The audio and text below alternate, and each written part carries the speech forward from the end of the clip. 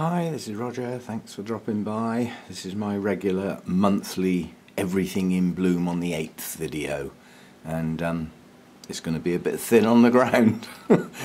and thinking ahead, like one does when one grows things like orchids, I think next month's going to be even worse. If you think about most of what's in bloom now may well have gone over by the 8th of September and there's not a huge amount coming along to take its place at the moment. It is just a quiet time of year. Yes, what can we do for you? now you're right in the way now, aren't you? Ugh, nuisance cat. yeah. Right, um, I'll start off with this Bulbophyllum delatescens. Now the main bloom, which was quite beautiful, is actually gone now. Those those um, little bloomettes or whatever you want to call them, the individual parts of the bloom, um, dropped off a couple of days ago. Literally overnight, they just all fell. Um, this weaker spike has only produced three. Uh, I think the other one had probably nine or ten. Um, but this one opened a bit later. I don't think this is going to last a huge amount of time. Um, but they're quite attractive. Um, no stinky either. They, uh, if they've got a fragrance, I can't tell. So, uh, you know, a sort of a, a no fragrance one. Um, right, coming round here, the um, Kiki Comet King Bloom is still hanging in there, still looking good.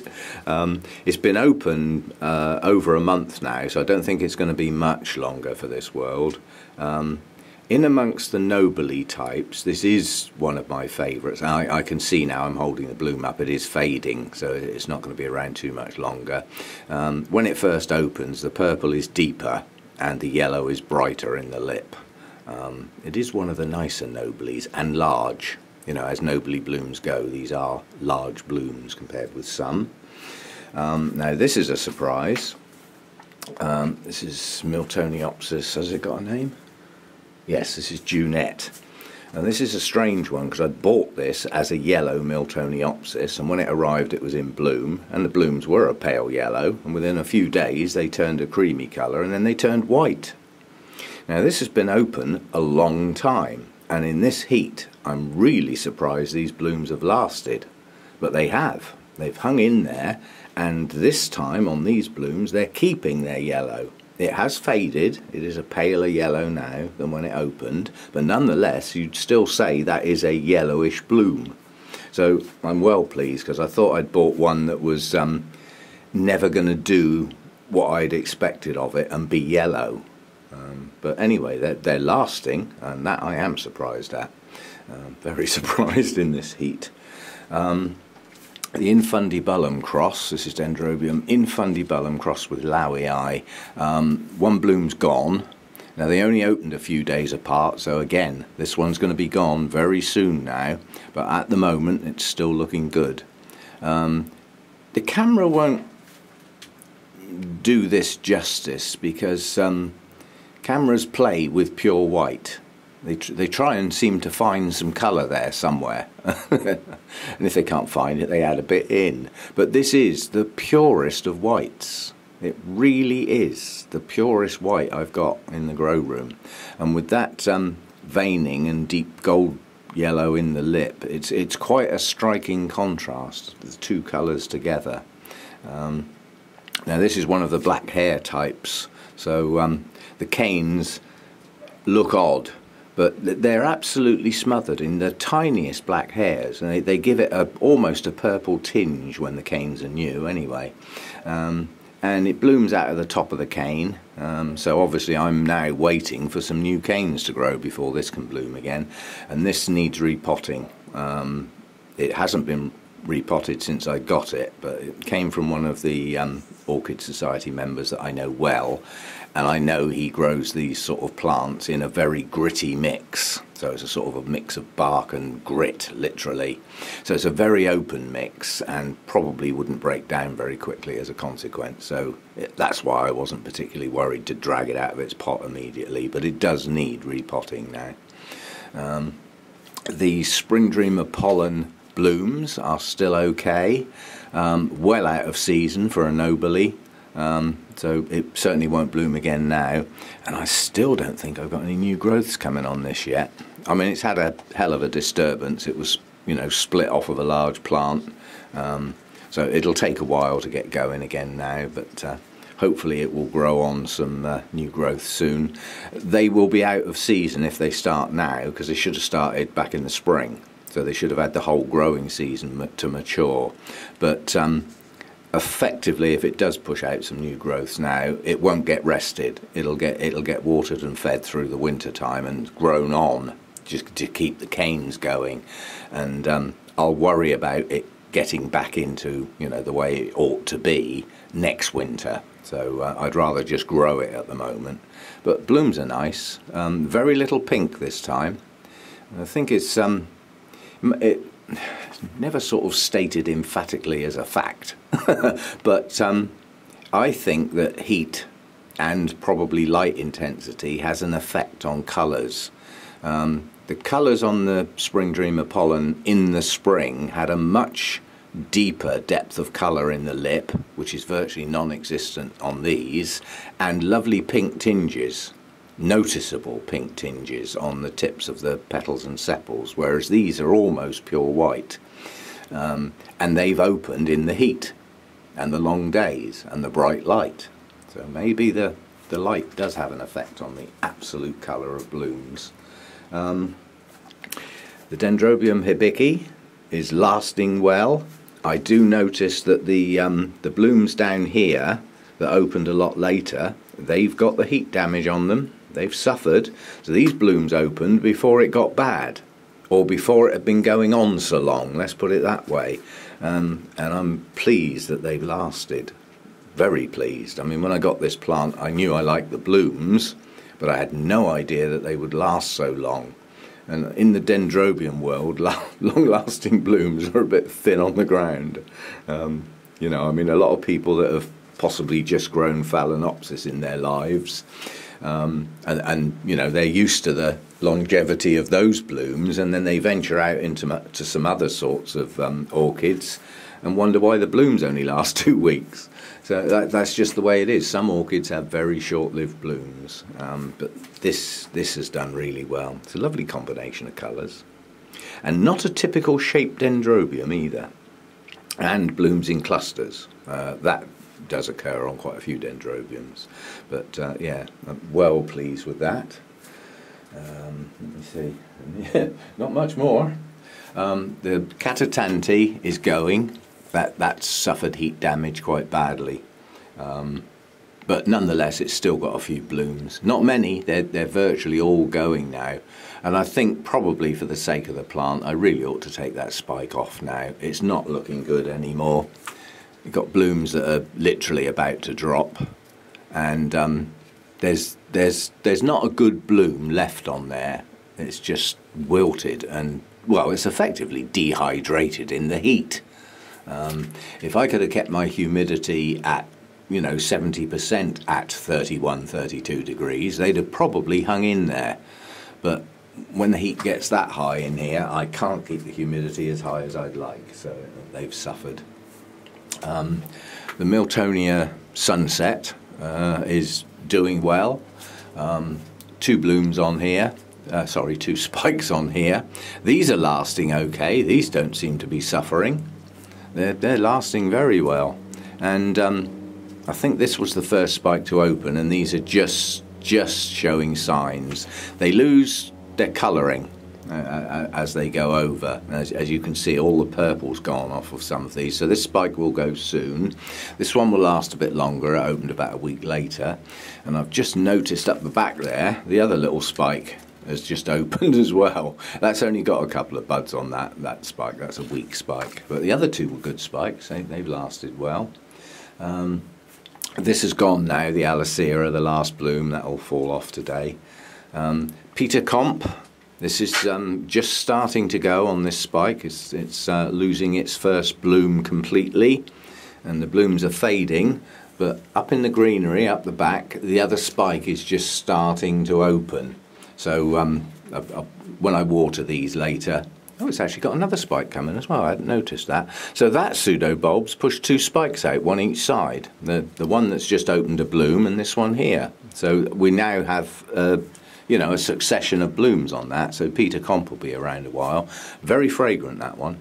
I like that one a lot. Um, there's no Restrepia blooms at the moment. They really are sulking in the heat. Um, my Miltonia, this is Queen Anne, so a, a hybrid effectively. Um, this is the one with the uh, multicoloured blooms, if I can just turn it round a bit so that we can see them. Um, uh, I would say that the typical blooms on this are the deep purple with the veining on the lip but it has produced one bloom. Ah, it's changed. This bloom, when it opened, had white on the lip. That white has now turned a lovely lilac colour. So it's lost its white. So that was only there for a week or so. Um, and I've still got some more buds to come on this. Um, these spikes growing a little unusual, um, but this is a first time bloomer, so it's the first time I've seen it go. And it, it doesn't seem to grow like a lot of these types of spikes in the Oncidium alliance, where the buds push on and they open from the base of the spike towards the tip, but quite quickly.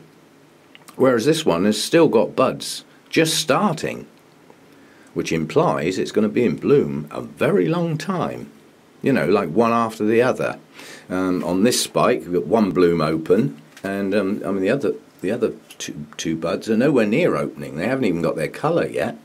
So I think this is going to have a succession of blooms um, over quite a long period, which is, which is a nice trait. Mass bloomings are all very well, but when your blooms are a bit thin on the ground, having one after the other is, is, is not bad.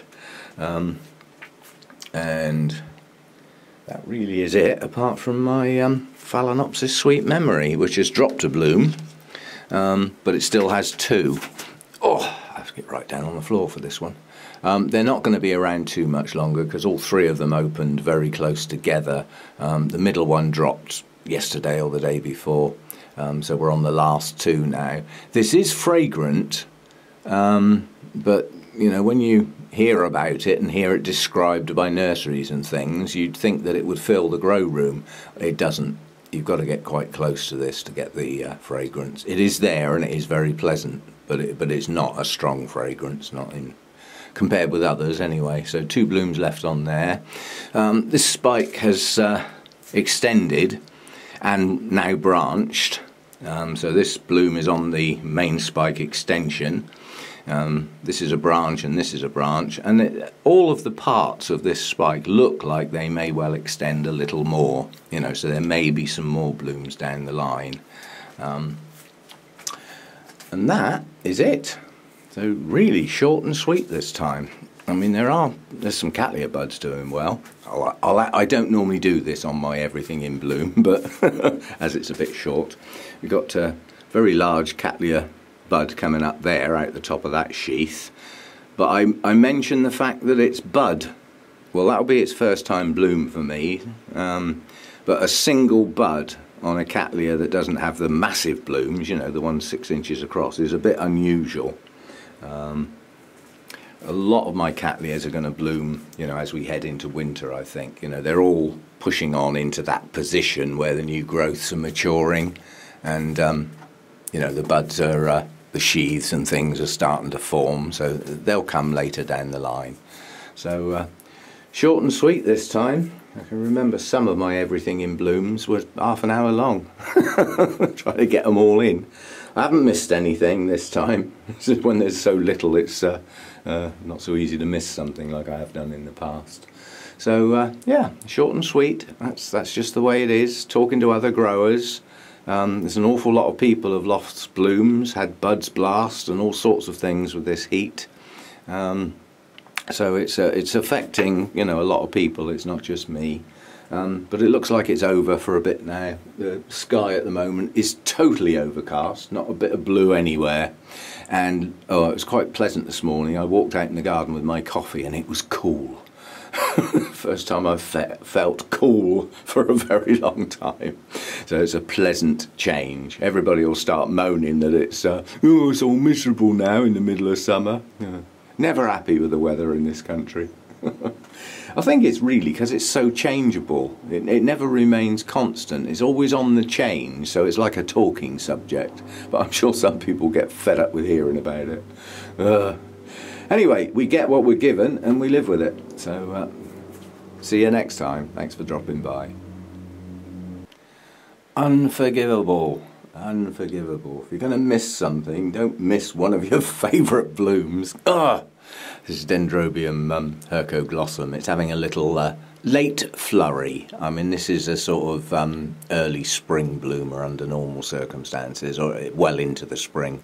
Um, it's not an early, late winter, early spring bloomer. It is a bit later than other dendrobiums, but uh, yeah, this um, camera cannot capture this properly. It needs incredibly bright light above it and it has to be viewed from underneath to see its delicacy. It's virtually transparent and under those lighting conditions it glows. Um, it's still one of my favourites. Um, I think all the late buds are now open. This uh, this lot over here are going. Um, they're not lasting as well as they would do earlier in the year, and I think that is the the last of these blooms. But I, I walked under it, I walked round it, I, I you know, and missed it. And um, although these aren't large blooms, they, you know, um, it does do quite a mass blooming every year and has done for many years. Um, I've had this plant a really long time. Um, we did actually remount it a while ago. Um, the wood was breaking down the mount that it was on and it was taking out the roots at the back of the plant before they could grow. So it was taken off and remounted and you can see roots are now pushing out um, and underneath I can see they are growing if I turn the plant upside down. And um, new growth's pushing on, so I mean it's coming on. Um, it will slow a little because of its disturbance, so I might not get such long canes this time round, but um, uh, this is a strange growing dendrobium. Um, it's unlike any other I've got, and I can say that, you know, really, I've had it long enough now. And unlike many other dendrobiums that have an annual cycle, and some have a two year cycle before they drop their leaves, this has got a three year plus cycle on it. So normally, quite early in the year, the new growths start and they, they push on during the growing season. They carry on growing through the winter into the next year where they start getting heavy enough to pull down.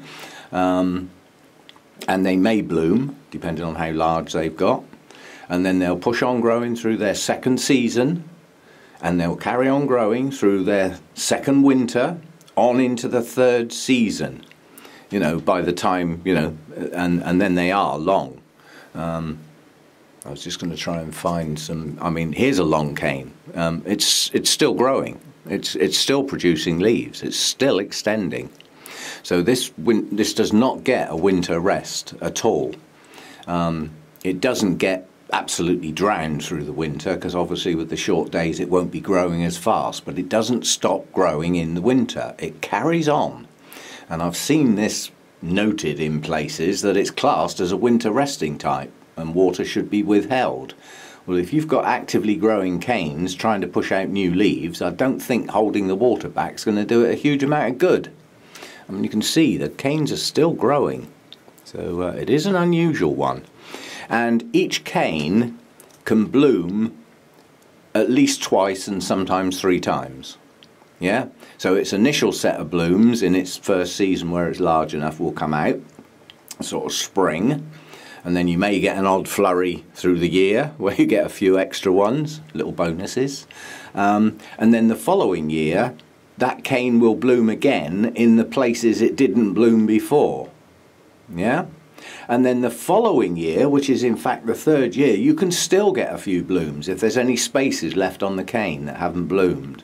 But eventually, the cane will completely drop its leaves and become totally deciduous. But it's a quite a long process.